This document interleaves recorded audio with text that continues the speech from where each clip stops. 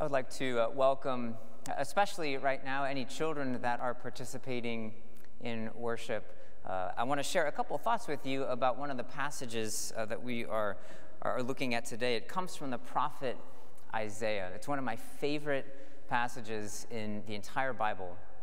You know, earlier this week, I uh, was talking with a friend, and we both sort of agreed that we're just feeling really tired these days uh, for whatever it might be. And, and maybe you can relate to that feeling. I, I mean, you, uh, kids especially, I think right now, have a lot of reasons to be tired. You, you've been going to school in a completely new and different way from anything you would have thought uh, possible before.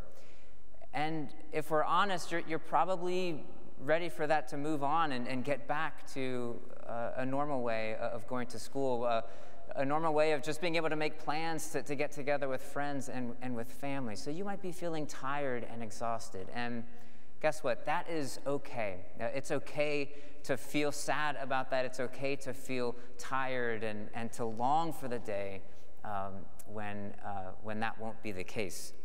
But what I love about this passage is it tells us that God meets us where we are at. God meets us in our tiredness. Listen to these encouraging words from Scripture. Don't you know? Haven't you heard? The Lord is the everlasting God, the creator of the ends of the earth. God doesn't grow tired or weary. God's understanding is beyond our reach. God gives power to the tired and revives the exhausted. Young people will become tired and weary, and young people will certainly stumble. But those who hope in the Lord will renew their strength. They will fly up on wings like eagles. They will run and not be tired. They will walk and not be weary.